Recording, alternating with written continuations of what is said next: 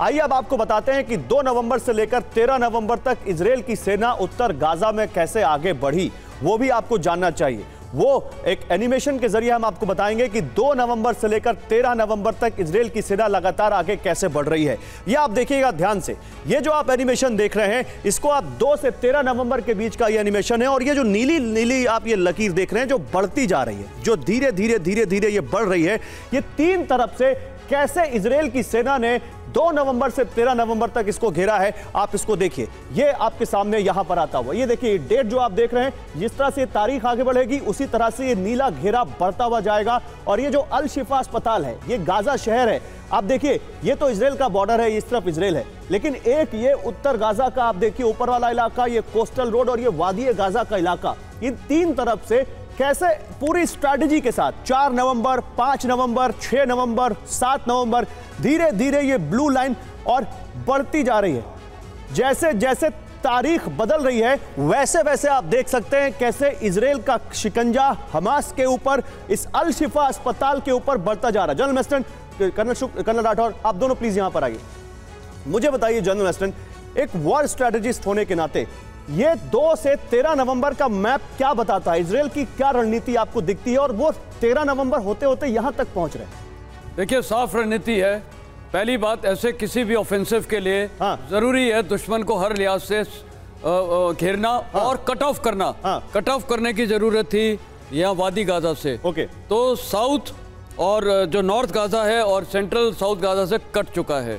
दूसरी बात जितने भी अभी तक टनल्स के हमें ड्राइंग्स मिले हैं उसमें नॉर्थ गाजा से सेंट्रल गाजा की कनेक्टिविटी नहीं दिखती है ओके, टनल्स में ओके। तो इसका मतलब उनको अच्छी तरह घेर लिया है टेररिस्ट जो भी है आतंकवाद है वो टनल्स के अंदर ही अभी इधर उधर हरकत कर सकते हैं और उन्होंने बड़े अच्छे तरीके से नॉर्थ से ये सी कोस्ट की तरफ़ से वे- वेस्टर्न फ्रंट से और ये जो इनके बीच में घुस गए हैं फिर उनकी पहली स्ट्रेटेजी ये थी घेर के हाँ। और एडवांस करते रहना और इंपॉर्टेंट कमांड कंट्रोल स्ट्रक्चर्स को कैप्चर करना साथ ही जो सिविलियंस थे यहाँ उनको निकालना बहुत ही ज़रूरी मैं, था। मैं मैं एक और चीज़ अल शिफा हॉस्पिटल के हवाले से बोलना चा, पूछना चाहता हूँ कर्नल राठौर। ये देखिए ये पहले यहाँ से आ रहे हैं ये ये जो ब्लू एरोज हैं यहाँ से इसराइल की सेना घुसी है। ऊपर से दो जगह से आई है यहाँ पर एक जगह से आई है। एक यहाँ से आई है। ये क्या स्ट्रेटजी है? अगर उनको अल शिफा हॉस्पिटल पर अटैक करना था तो डायरेक्ट आ जाते। ये धीरे धीरे इन्होंने क्या यहाँ पर किया है? क्या यहाँ पर इनकी रणनीति थी जो उनको मालूम था कि अगर हमें यहाँ तक पहुँचना है तो पहले इन तीनों तरफ़ से वो पूरा वहाँ पर उसको बिल्कुल क्लियर करो। क्या था वो रण? क्या था प्लीज़ देखिए गौरव ऐसा हुआ है कि ये इसराइल है। हाँ। बेथनून और ये इरेज क्रॉसिंग है। हाँ। एक उनका थ्रस्ट यहाँ से आया है। एक यहाँ से आया है ये बेत लहिया है और ये एट्रोटा है। यहाँ से आया है। ये कोस्टल रोड है उन्होंने इसको किया और वहाँ पर ऐसी बात नहीं कि रेजिस्टेंस नहीं मिल रहा है क्योंकि अभी तक ये थ्रस्ट जो आया है और ये थ्रस्ट आपस में मिले नहीं है। ये अभी भी नहीं मिले कोई 800 गज की दूरी है इन दोनों के बीच में। तो इसके मतलब वहाँ पर उनको मिल रहा है रेजिस्टेंस नहीं नहीं Okay. ये ये ऐसा कुछ है क्या?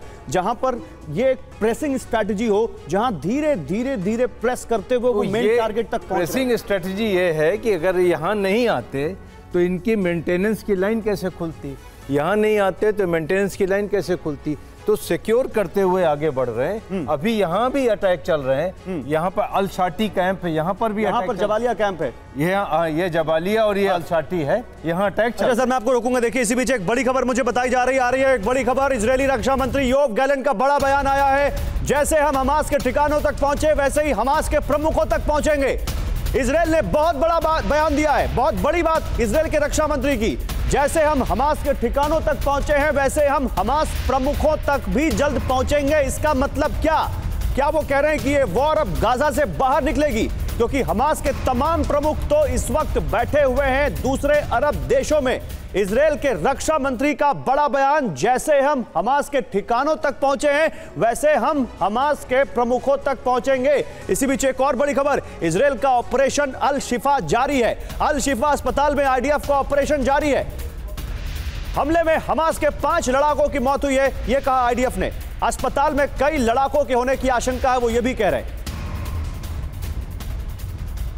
और ये देखिए, जो नीचे तस्वीरें आपको दिख रही हैं, गाजा पट्टी और युद्ध क्षेत्र में लाइव कैमरा, ये इस वक्त सीधी तस्वीरें आ रही हैं जो हम आपको दिखा रहे हैं। इस वक्त आप देखिए, अभी भी वहाँ जो धुआँ उठते हुए दिख रहा है आपको नीचे, ये गाजा में इस वक्त की तस्वीर है जो वहाँ का हालात वहाँ के हालात बया कर रही है।